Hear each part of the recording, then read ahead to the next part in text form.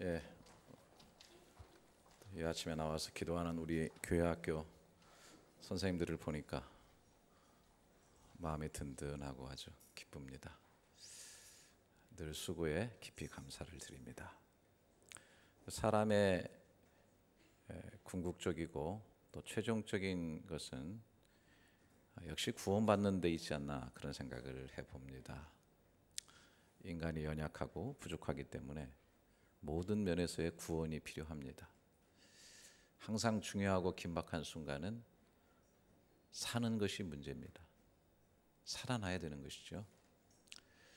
뭐잘 아시는 것처럼 지금 여객선이 뒤집혀져서 많은 사람들이 실종이 되고 특별히 아이들이 지금 아, 생사의 기로에 있고 정말 답답한 것은 도저히 인간이 뭔가 할 수 없다는 것에 있습니다. 사람들의 마음이 지금 다 뒤집어져 있어요. 너무 고통스럽습니다. 우리 장로님 한번 어제 만났는데 밤새 잠을 한숨도 못 잤다고 생각해 보니까 얼마나 마음이 아픈지 예, 모릅니다.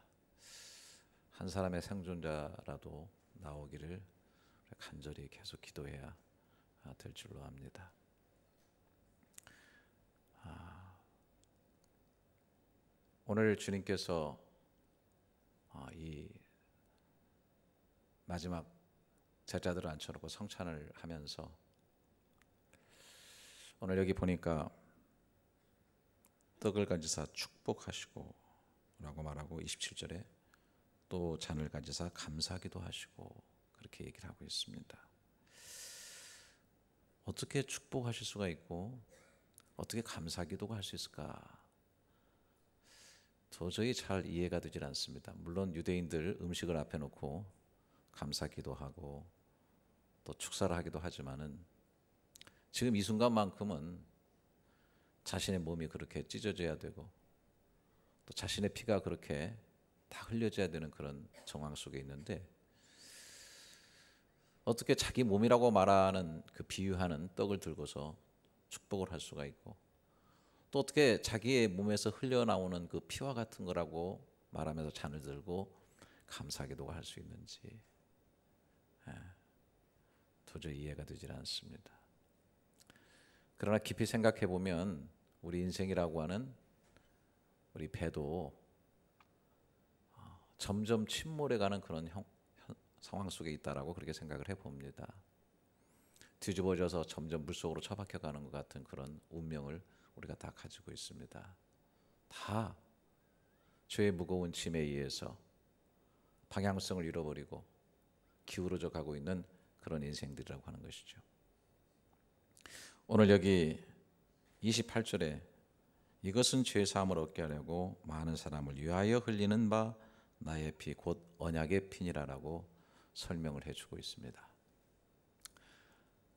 아, 바로 이것 때문에 우리 주님께서 축복하시면서 감사하실 수 있었던 그런 내용이 아닌가 싶습니다.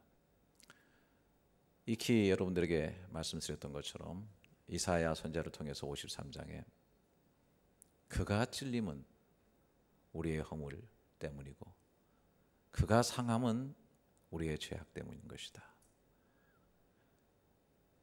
그가 징계를 받음으로 우리가 평화를 누리게 되고 그가 채찍에 맞음으로 우리가 나음을 얻게 된다라고 말씀하고 있습니다. 바로 이 떡과 이 피는 너희를 위하는 것이라고 하는 것입니다. 바로 많은 사람을 위한 것이라고 하는 것입니다. 오늘 이 음성을 우리가 분명히 다시 한번 크게 들어야 줄 압니다. 이 모든 고난, 주님께서 당하신 모든 아픔들은 다 바로 우리를 위한 것이다. 그래서 여러분들이 한 주간 십자가를 많이 묵상하셨겠지만은 늘 저는 그렇게 생각합니다. 십자가 위에서 예수님이 고난 받으시고 매달린 것만 보는 것은 반쪽짜리 신앙이라고 하는 것입니다. 십자가에 매달려 있는 나 자신을 같이 볼 수 있어야 됩니다. 내가 그리스도와 함께 십자가에 못 박혔나니라고 말씀하고 있습니다. 그런 적 이제는 내가 사는 것이 아닙니다. 내 안에 그리스도께서 사신 것이고 이제 나를 위해서 자기 목숨을 버리신 그리스도를 위해서 우리가 살아가는 삶이 되어지게 되는 것입니다. 그러면 오늘 이 아침에 선명하게 십자가에 이미 매달려서 모든 죄와 죽음의 문제가 처리되어 있는 그리스도 안에 나를 바라볼 수 있는 눈이 활짝 열려주시기를 주님의 이름으로 축원합니다. 그리고 분명하게 들으시기 바랍니다. 많은 사람을 위해서 바로 너희를 위해서 그가 우리를 위해서라고 하는 바로 우리 그 많은 사람 너희를 위한 이것을 여러분들 분명히 다시 한번 인식하시기 바랍니다. 여기서 결정적으로 마지막에 중요한 것은 받아 먹으라 라고 하는 것입니다. 또 이것을 마시라. 26절 27절. 여러분 하여튼 오늘 여러분들 이 음성을 아주 크게 들으시기 바랍니다. 그래서 한번 따라 해 보시기 바랍니다. 받아 먹으라. 받아 먹으라. 이게 신앙생활에서 너무너무 중요한 것입니다. 아무리 옆에 산의 진미가 있고 좋은 음식이 있어도 내가 그것을 먹지 않으면 아무런 나에게 도움과 의미가 되어지지 않는다고 하는 것입니다.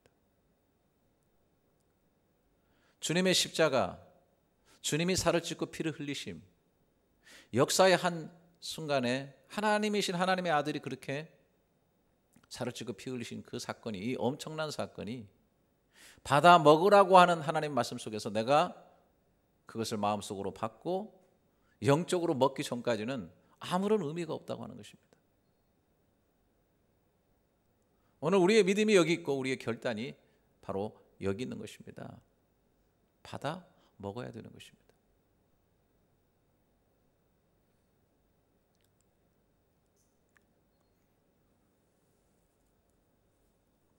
아무리 다른 지식이 뛰어나도 일단 배가 기울어지면 배에서 어떻게든지 잘 탈출하고 그리고 생명을 보존하는 법을 알아야 됩니다. 나는 지도자가 얼마나 중요한가 그런 생각을 참 며칠 사이에 뼛속 깊이 생각해 봅니다. 하늘나는 비행기는 기장이 정말 중요합니다. 그 사람이 모든 사람의 생명을 책임지고 있어요. MH370은 기장이 지금 어디로 끌고 갔는지 모르겠어요. 오늘 이 배에서도 선장의 역할은 너무 중요했습니다. 그런데 어쨌든 아직 결과는 완전히 나오지 않았지만은 선장이 제대로 역할을 전혀 하지 못하고 오히려 어떤 면에서는 그 배의 좌초의 원인을 지금 제공하고 있지 않나 그런 생각이 듭니다. 배가 일단 기울기 시작하면 사람들을 위쪽으로 대피를 시키든지 빠른 시간 내에 조치를 했고 모든 승무원들이 그것을 잘 했으면은 지금 이렇게 어려운 상황까지는 가지 않았을 것이라는 생각이 들게 됩니다. 매뉴얼을 잘 숙지해야 되고 생명을 보호받는 이 일에 대해서 잘 해야 되는데 이것은 누가 뭐라 그래도 선장과 거의 근무하는 사람들의 책임이 크다고밖에 볼 수 없습니다. 교회는 무조건 생명이 어떻게 구원받을 수 있는가? 우리가 어떻게 영원한 삶을 살 수 있는가?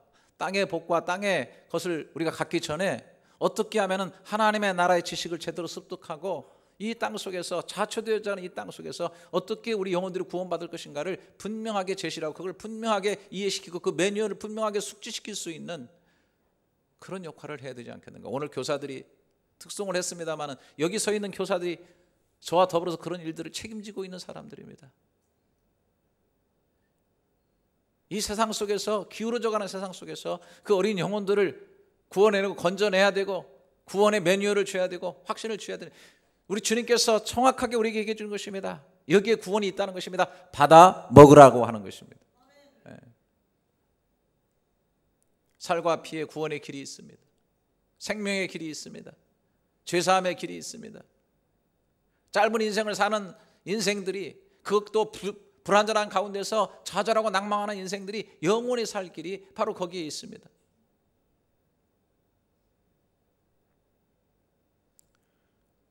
요즘 뭐 페이스북에 우리 목사님들 글들이 많이 올라오겠네요 저한테 좋은 책들을 많이 소개합니다. 무슨 책을 읽었습니다. 6시간 걸쳐야 될 책을 4시간 만에 읽었습니다. 뭐 이런 얘기를 하면서 책 소개를 많이 하는데 최근에 어떤 분이 또 글을 올리면서 오카노 목사님이 읽다가 눈물을 흘리면서 읽었다고 하는 갈대 상자라고 하는 책을 제가 이제야 읽습니다. 3시간 만에 다 읽었습니다. 읽고 나서 정신이 몽롱합니다. 그렇게 큰 감동이 마음속에 일어날 수 없습니다. 예, 그 책을 통해서 영양분을 잔뜩 받은 겁니다. 영혼의 풍성함을 먹은 겁니다. 눈에 보이지 않는다고 안 먹은 겁니까? 음식만 먹어야 먹은 겁니까? 우리는 은혜를 먹습니다. 우리는 사랑을 먹습니다. 우리는 깨달음을 먹습니다. 받아 먹으라. 이 말은 뭡니까? 살과 피 속에 스며들어 있는 하나님의 사랑과 하나님의 은혜와 하나님의 그 놀라운 구원의 은총을 내 영혼이 받아 먹는다고 하는 것입니다. 여러분 아침마다 십자가를 받아 먹기를 주님의 이름으로 축원합니다. 나는 확실히 믿어요. 풍성한 도하기 인생이 됩니다.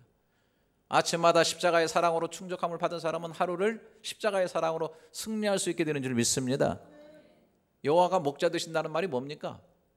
여호와가 목자 되신다는 말은 제일 중요한 첫 번째 first step은 푸른 초장에 가서 먹고 잔잔한 물가에 가서 물을 마시는 것입니다. 그래서 그가 나를 푸른 초장에 누이시며 쉴만한 물가로 인도하시는 것입니다. 뿐만 아니라 의의 길을 가게 위해서 저가 내 영혼을 먼저 소생시키시는 것입니다. 그 소생함이 어디서 나옵니까?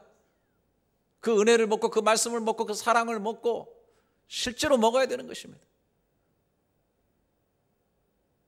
그리고 영혼이 소생돼서 의의 길을 향해서 힘차게 달려가는 것입니다. 사망의 음침한 골짜기를 갈 때도 결코 두려워하지 않습니다. 그 은혜가 내게 있기 때문인 것입니다. 여러분 실제적으로 먹습니까? 받아 먹으라. 오늘 이 아침에 정말 그 은혜를 받아 먹습니까?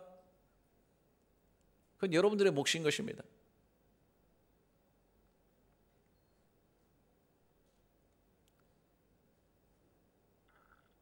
라우디에게 교인들이 금방 변질됐습니다. 차지도 아니고 덥지도 않습니다. 입에서 토해내버리겠다고 주님께서 말씀하십니다. 그리고 뭐라고 말씀합니까? 니들이 부자라고 생각하는데 니들 정말 가난한 자들이다. 니들 본다고 말하는데 니들 결코 보지 못한다. 그러면서 하시는 말씀이 볼지어다 내가 문 밖에서 두드린다. 누구든지 문을 열고 나를 영접하게 되면 내가 그에게로 들어가서 그는 나로 더불어 먹고 나는 그로 더불어 먹으리라. 먹고 먹으리라는 것입니다. 저는 여기다 제목을 중심적 교제다. 신앙생활이라는 게 뭡니까? 받아 먹으라. 이걸 받아 먹는 것입니다. 여러분 아침마다 일어나서 주님과 함께 그는 나로 더불어 먹고 나는 그로 더불어 먹고 있습니까? 푸른 초장에서 풀을 먹고 있고 잔잔한 물가에서 물을 마시고 있습니까? 그렇지 않다고 한다면 영양실조인 것입니다. 주님과 나와는 별로 큰 상관이 없는 것입니다. 오늘 다시 한번 귀에 큰 음성으로 듣기를 바랍니다. 오늘 집에 가서 종이 생각나기를 바랍니다. 여러분의 평생에 생각나기를 바랍니다. 제자들을 앉혀놓고 마지막에 주님께서 얼마나 강렬하게 살을 찢어서 주신다고 하시면서 떡을 그 앞에서 떼시고 붉은 포도주 잔을 쭉 부으면서 너를 위해서 흘리신 흘려주는 나의 피라고 말씀하시면서 가장 중요한 것은 이것을 먹으라 이것을 마시라라고 말씀하고 있는 것입니다. 오늘 신앙생활은 정말 먹어야 되고 정말 마셔야 되는 것입니다. 아침마다 여러분들 또 순간마다 십자가에서 흘러내시는 그 사랑을 먹고 마시는 역사가 있기를 주님의 이름으로 축원합니다. 아멘 이 정도 가지고는 안 됩니다. 예. 결정적으로 저 아멘 많이 안 시키는데 정말 여러분들이 먹고 마시는 역사가 있기를 주님의 이름으로 축원합니다. 29절에 그러나 너에게 이르노니 내가 포도나무에서 난 것을 이제부터 내 아버지 나라에서 새 것으로 너희와 함께 마시는 날까지 마시 아니하리라 하시니라. 아, 너무 멋있는 말씀. 여기 뭐라 그랬습니까? 내 아버지의 나라에서 새 것으로 너희와 함께 마시는 날. 여러분 오늘 나는 성령으로 여러분들에게 이것이 눈에 확 보여줄 수 있기를 주님의 이름으로 축원합니다. 이 암울한 세상에서 이 험난한 세상에서 이 뒤집어져가는 세상에서 내 아버지 나 라에서 새 것으로 아버지와 영원히 먹고 마시는 그날이 분명하게 있는 것을 우리 주님이 보셨습니다. 주님이 보신 것을 여러분도 볼 수 있기를 주님의 이름으로 축원합니다. 우리는 세상에서 주님과 먹고 마셔야 됩니다. 주님의 것을 먹어야 됩니다. 마셔야 됩니다. 그것의 가시적인 모습으로 이것을 행하여 나를 기념하라 하셨으니 우리가 성찬식을 하면서 그의 살과 피에 참여하면서 기념하면서 우리가 영원히 먹고 마시고 있다고 하는 사실을 다시 한번 확인하는 그런 예식을 하게 될 뿐 아니라 이러한 삶을 계속 반복하다가 이제 아버지의 나라에서 영원히 새 것으로 아버지 상에서 아버지 자녀로서 영원히 먹고 마시는 그런 존재라고 하는 사실을 분명하게 믿으시기를 축원합니다. 이런 거 믿지 못하면 신앙생활이 아닙니다. 예, 그냥 종교 생활이죠. 아주 선명하고 확실하게 믿어줄 수 있기를 주님의 이름으로 축원합니다. 그래서 그렇게 늘 아침마다 순간마다 먹고 마시시고 성찬식 하면서 또 확인하시고 또 우리 주님처럼 성찬하면서 아버지의 나라에서 내가 영원히 주님과 새 것으로 영원히 먹고 마시는 하나님의 자녀로서 살게 될 것이라고 하는 이 사실을 우리는 절대로 잊지 마시고 주님 오늘 살과 피로 주신 축복입니다. 그의 살과 피로 새겨서 우리에게 주신 약속입니다. 얼마나 그 약속이 진하고 얼마나 중요하고 얼마나 확실하면 살을 찢고 피를 흘려서 우리에게 그 약속을 주셨습니까? 오늘 여러분